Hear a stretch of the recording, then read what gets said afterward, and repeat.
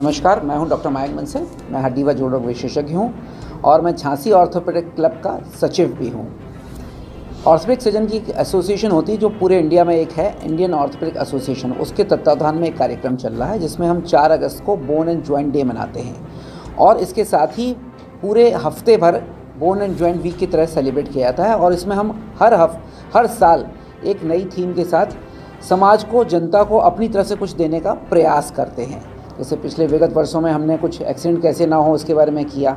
उसके पहले हमने एक वर्ल्ड रिकॉर्ड बनाया था कि एक दिन में सबसे ज़्यादा फ्री सर्जरीज की गई सारे ऑर्थोपिक सर्जन के द्वारा।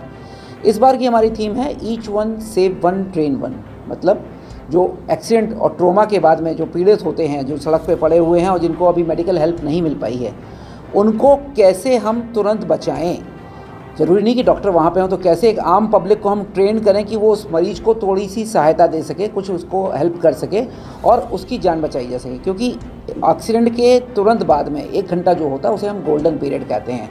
और इस गोल्डन पीरियड में जो मरीज़ के हम अगर बेहतर उसे कुछ कर सके तो उसकी जान बचाई जा सकती है या उसमें होने वाली खराबी मॉर्बिडिटी को हम कम कर सकते हैं।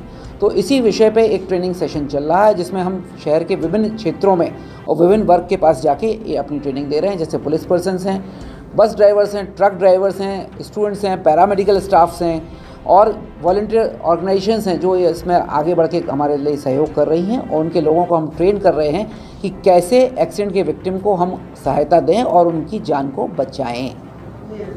सिविल डिफेंस जो होती है, जो लड़के आ जाते हैं रहती है सिविल डिफेंस सिविल डिफेंस को ज़्यादातर ध्यान देना बिल्कुल, सिविल डिफेंस एक सोशल ऑर्गेनाइजेशन जिनके संग हमें काम करना है, एक कई और सोशल ऑर्गेनाइजेशन, जैसे सबसे पहले पुलिस पर्सनल। हमारा पहला ध्येय होता है पुलिस पर्सनल, क्योंकि वो लोग पहुँचते हैं और वो एक्टिवली पार्टिसिपेट करते हैं, ट्रैफ़िक पुलिस। उसके बाद हम अपने पैरामेडिक्स को सिखाते हैं, क्योंकि पैरामेडिक्स को थोड़ा सा पेशेंट को हैंडल करने में उतना डर नहीं लगता तो उनको सिखाते हैं। तो इस तरह से कई लोग सिविल डिफेंस वालों को भी ट्रेन करना हमारे ध्येय में है।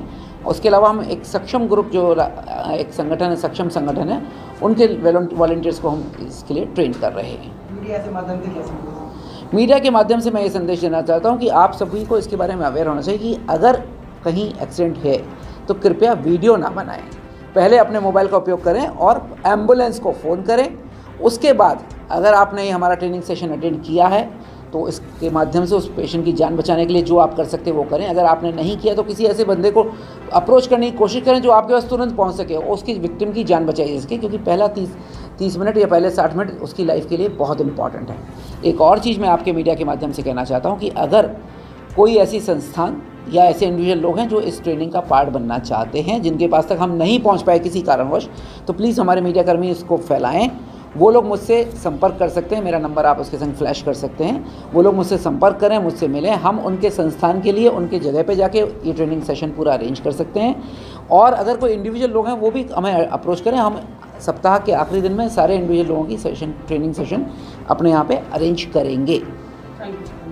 द न्यूज़ तंत्र बुंदेलखंड का उभरता हुआ एक ऐसा चैनल है, जो बेवाक और निष्पक्ष तरीके से जनता की समस्याओं को उठाता है। आप अपनी समस्याओं को दिए हुए व्हाट्सएप नंबर पर भेज सकते हैं। साथ ही, आप अपने किसी स्टार्टअप या अपने बिज़नेस का प्रमोशन हमारे चैनल के ज़रिए करा सकते हैं। खबरों को देखने के लिए फेसबुक या यूट्यूब पर द न्यूज़ तंत्र टाइप करके सर्च करें और खबरों से जुड़ जाएँ।